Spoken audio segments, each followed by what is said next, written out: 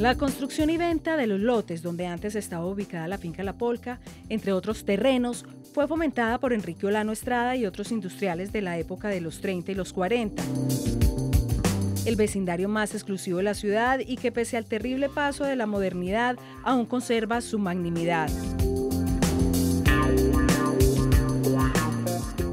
Soy Carolina Sánchez y los invito para que conversemos con Alejandro Molina, presidente del Consejo de Patrimonio de Medellín, para que entendamos por qué el barrio Prado fue y sigue siendo tan importante.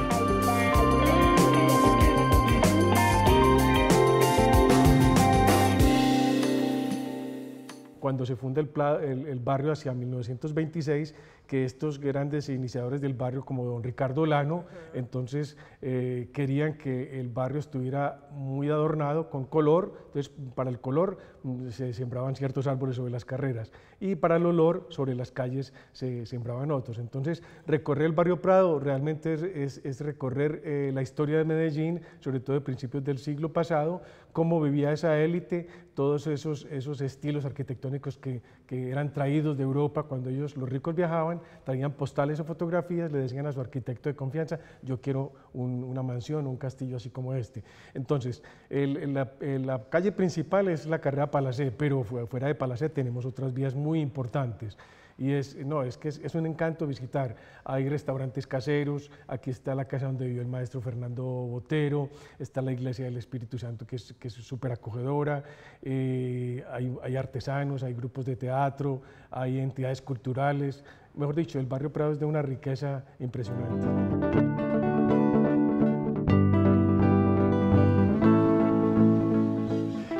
Barrio hay cerca de 267 bienes patrimoniales, así a, grosso modo. Y eh, todos tienen diferentes tipos de, de, cuidado, de intervención. Hay unos de, mm, preservación integral, o sea que no los puedes tocar. Hay otros que se permite que al interior ah, se hagan algunos cambios, entonces ese es otro tipo de, preservación que se hace. pero yo quiero como, como entender un poquito más de este concepto patrimonial una casa se declara patrimonial solo porque es bonita. No, no, no, no, no. O sea, las declaratorias del patrimonio tienen que ver con lo arquitectónico, con lo cultural y muy importante, con lo simbólico con lo simbólico. Entonces, en un barrio cualquiera, no necesariamente Prado, hay una virgencita en una esquina que lleva 70 años. Eso es patrimonio de ese barrio. O sea, tenemos que eh, quitar... Su relación con la Y su relación con la comunidad. Entonces, quitar ese paradigma de que para que sea patrimonio tiene que ser viejo. No, no necesariamente. Aquí en Medellín, en la calle Colombia, tenemos edificios patrimoniales de arquitectura moderna y son, son bienes de interés cultural de la, de la ciudad. O sea, el paradigma a romper es no necesariamente tiene que ser viejo para que sea patrimonio.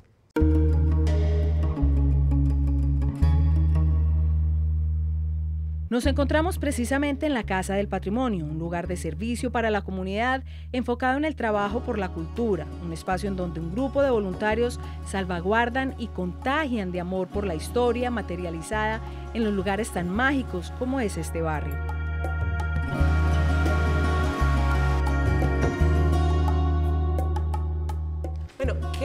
Hace un poquito qué se hace en la casa, qué hacen los vigías, qué, procesos, qué proyectos se apuestan desde acá.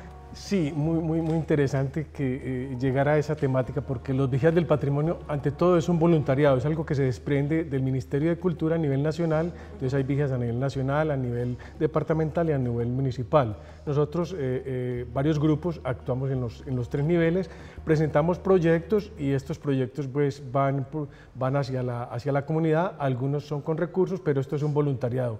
Esto del patrimonio no da plata, esto es para apasionados por, la memoria y la identidad y sobre todo por el patrimonio de ciudad. Bueno, si yo tengo un grupo de amigos que digo quiero que conozcan nuestro barrio patrimonial o cualquier territorio con elementos patrimoniales, yo busco un vigía para que me ayude a contar. O sea, es una conexión también un poco con el turismo. Sí, sí, por supuesto. Eh, de hecho, nosotros, el grupo de vigías que tenemos, todos somos guías profesionales de turismo, ¿cierto?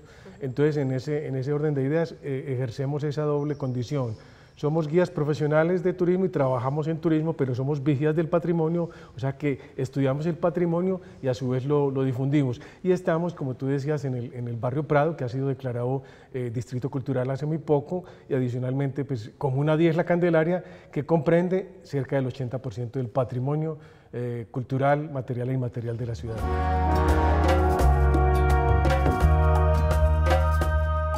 El barrio Prado constituye el territorio patrimonial de nuestro centro consentido y a su vez una oportunidad turística bajo la mirada de la gerencia del centro que busca conectar el pasado, presente y futuro del centro de Medellín en función de sus habitantes.